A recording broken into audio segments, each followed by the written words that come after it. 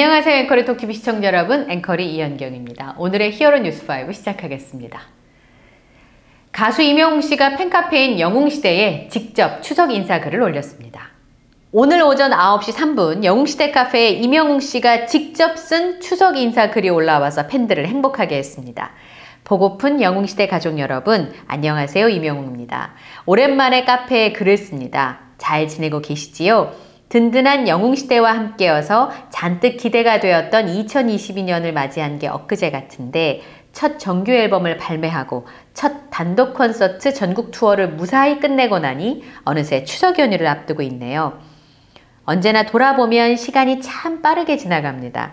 이번 연휴에도 사랑하는 가족들과 화목하고 행복한 시간 보내시기를 바랄게요. 맛있는 음식 많이 드시고요. 저도 만난 거 많이 먹고 살 좀 쪄볼까 합니다. 사랑하는 가족 여러분, 연휴 잘 보내시고요. 오늘도 건행이라고 추석 인사를 마무리했는데요. 가수 임영웅 씨는 그동안 총 21회 전국 단독 콘서트를 하면서 종횡무진 무대를 누볐는데요. 콘서트 때마다 살이 빠져서 많은 팬들의 걱정을 샀습니다.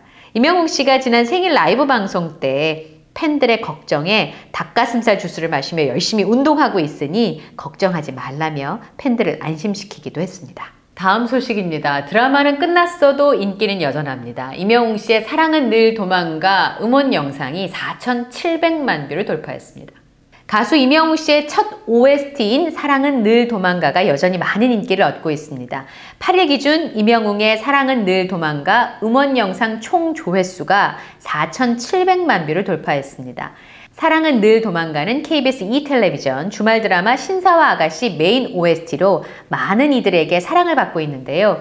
사랑은 도망가는 이문세 씨의 노래로 작곡가 한밤 씨가 새롭게 편곡해서 임영웅 씨만의 섬세하고 촉촉한 감성이 더해져 명곡으로 새로 탄생했습니다.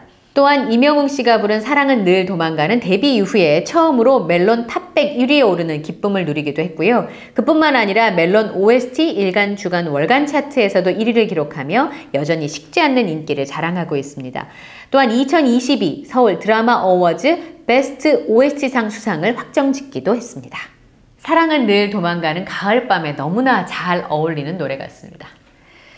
다음 소식입니다. 미스터 트롯의 진행을 맡았던 MC 김성주 씨가 두 번째 시즌에도 진행자로 확정됐다는 소식입니다.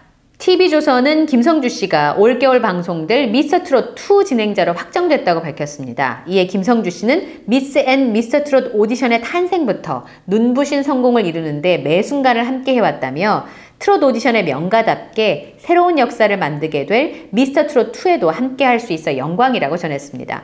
또한 미스 미스터 트롯이 배출한 스타들의 활약을 볼 때마다 큰 보람과 자부심을 느낀다며 이 시리즈를 앞으로 잘 지켜나가고 싶다고 프로그램에 대한 애정을 보였습니다.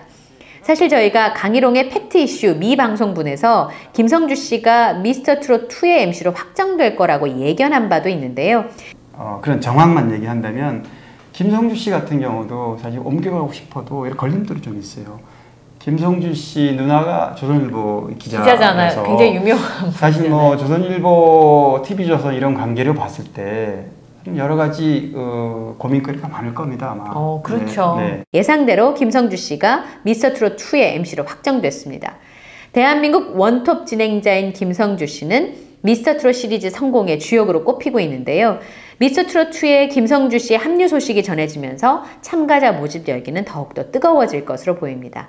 올 하반기에는 서혜진 PD가 제작하는 MBN의 불타는 트롯맨과 TV조선의 미스터트롯2가 뜨거운 경쟁을 벌일 것으로 보여 많은 이들의 관심을 받고 있습니다.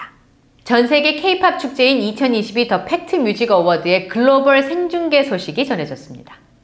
화려한 라인업을 완성해 가고 있는 2022 더 팩트 뮤직 어워즈가 전 세계 다양한 채널로 글로벌 팬들을 찾아간다고 합니다.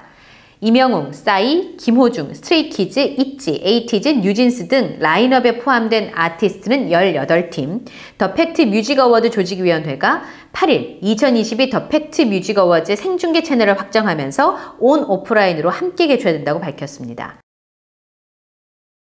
3년 반 만에 오프라인 시상식으로 전환됐지만 아티스트와 팬이 함께하는 시상식답게 전 세계 팬들과 함께하기 위한 결정인데요.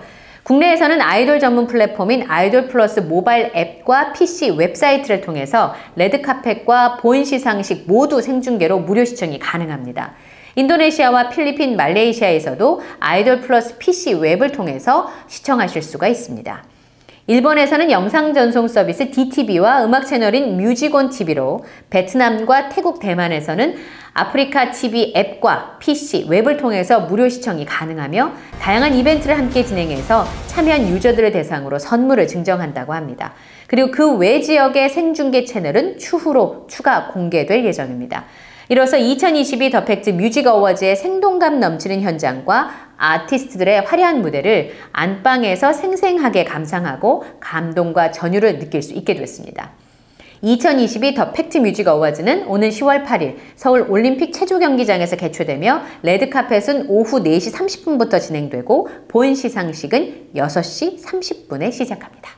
국내에서는 아이돌 플러스를 통해서 생중계를 볼 수 있다고 하니까요. 미리 앱을 깔아두시거나 가입을 해두시는 게 좋을 것 같습니다. 그리고 아이돌 플러스 인기상 투표도 한 표 하시는 거 잊지 마시기 바랍니다.